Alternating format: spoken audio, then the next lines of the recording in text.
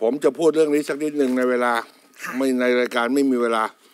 เอ้คุณหมอทวีชัยวิษณุโยธินเอ๊ะเป็นอะไรกับคุณหมอทวีสินผู้ในวยการสำนักงานป้องกันควบคุมโรคที่เก้าโคราช ค่ะ การรับประทานหมูดิบอืมเลือดหมูดิบ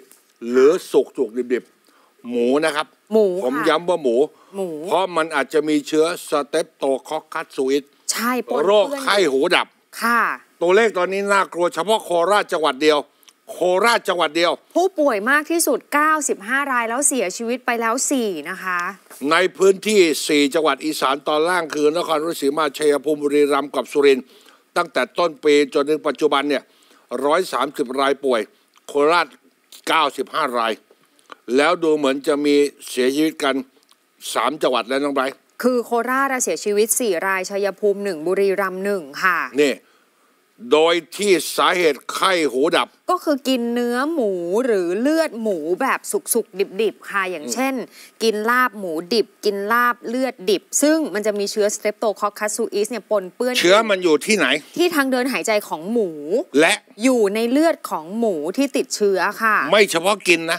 คือมันติดต่อได้ทางบาดแผลด้วย ถ้าเรามีรอยถลอกหรือติดทางเยื่อบุตาก็ได้นะคะขยี้ตายอย่างนี้เป็นต้นถูกใช่ไหมเอามือไปขยี้ตาเชื้อก็เข้าค่ะ มันเข้าไปเนี่ยท่านผู้ชมถ้าเกิดเรากิน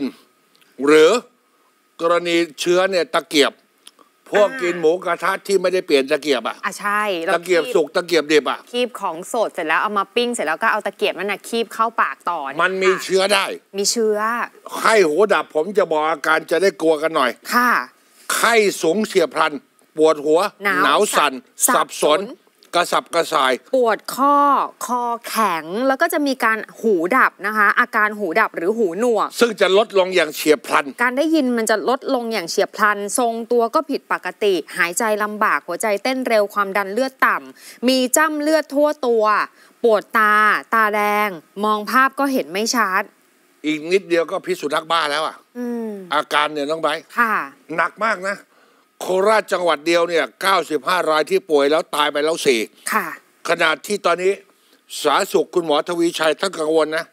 กระแสโซเชียลตอนนี้ มันพี่ก็เห็นอยู่ มันมีรีวิวไอ้ซอยจุไม่เท่าไหร่มันเนื้อวัว ค่ะ แต่มันก็ไม่ควรจะทิ้งนานนะ ข้อที่หนึ่ง ค่ะ แต่ไอ้หมูเนี่ย หมูดิบเนี่ยไม่ได้เลยนะคะ แล้วเดี๋ยวนี้มันมีรีวิวในโลกออนไลน์รีวิวกินอาหารดิบอะค่ะ หรือบางทีคุณหมอบอกพฤติกรรมคือดื่มสุราร่วมกับการกินอาหารสุกๆ ดิบอืมๆพอรีวิวกันแบบนั้นในโลกออนไลน์ก็เกิดพฤติกรรมเลียนแบบอยากจะลองทำตามอ่าแล้วกินกันเนี่ยมันก็เสี่ยงติดเชื้อโรคไข้หูดับที่ว่าเนี้ยค่ะอืมแล้วช่วงนี้เป็นช่วง high season ด้วยคือฤดูหนาว เฉลิมฉลองเทศกาลปีใหม่ ก็จะนิยมกินปิ้งย่าง บางทีกินอาหารสุกๆ ดิบๆ ล้อมวงกันเอาลาบเลือดดิบก้อยดิบเอามากิน มะนาวช่วยไม่ได้นะครับ ไม่ได้นะคะมะนาวช่วยไม่ได้นะคะ อย่าใช้วิธีบีบมะนาวเพื่อให้หมูสุกหลายคนเชื่อแบบนั้น มันต้องปรุงให้สุกผ่านความร้อนมากกว่า 70 องศาอย่างน้อย 10 นาที ส่วนปิ้งย่าง ปิ้งย่าง อุปกรณ์คีบเนื้อหมูดิบอะค่ะ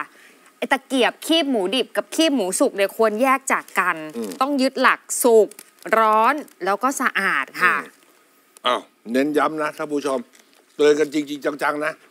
ท่านผู้ชมครับ พูดถึงหมูข่าวดีเล็กๆ ของเกษตรกรคนเลี้ยงสุกรค่ะ สมาคมเขาปรับราคาขึ้น มีผลตั้งแต่เมื่อวานนะคะ 4 บาทต่อกิโลแต่ยังต่ำเตี้ยเรียดินมากเลยนะ เป็นราคาหมูหน้าฟาร์มขึ้น 4 บาทต่อกิโลค่ะ ก็จะทำให้ราคาหมูถ้าเป็นภาคเหนือเนี่ยจาก 74 เป็น 78 บาทต่อกิโล อีสานจาก 72 เป็น 76 ภาคตะวันออก 70 เป็น 74 ภาคใต้ 68 เป็น 72 แล้วก็ภาคตะวันตก 64 เป็น 68 บาทต่อกิโล แต่ค่ะยังไม่ cover ต้นทุน ใช่ใช่ท่านค่ะผู้ชมยังไม่ cover ต้นทุนจริงๆ นี่ไหนจะหมูเถื่อน แต่ส่วนหนึ่งเป็นเพราะทางการเอาจริงเอาจังเรื่องการปราบปรามหมูเถื่อนนะอืมแต่อย่างที่ว่า คือเราอย่าไปเอาแต่ของถูกไม่ได้ หมูเถื่อนเนี่ย เราไม่รู้นะว่ามันเก็บไปอย่างถูกต้องหรือไม่ประการใดถูกไหมค่ะ ข้อที่สองในหลายประเทศเขาไม่ได้ห้าม สารเร่งเนื้อแดง อ่าค่ะ เพราะฉะนั้นอย่าเอาง่ายแบบนั้น สารก่อมะเร็ง หมูต้องกินจากเกษตรกรคนเลี้ยงสุกรไทยท่านผู้ชม มันช่วยอาชีพด้วยนะ เน้นย้ำอย่างนั้น เมื่อวานนายกก็ตอบเรื่องนี้อีกทีหนึ่งใช่ไหมเห็นบอกว่า จะต้องสาวให้ถึงรายใหญ่อะเรื่องหมูเถื่อนนักข่าวถามถึงความคืบหน้าค่ะ ท่านนายกก็บอกว่ากำชับหน่วยงานที่เกี่ยวข้องไปแล้วว่าเรื่องนี้ต้องสาวไปถึงรายใหญ่ให้ได้อ้าวท่านผู้ชม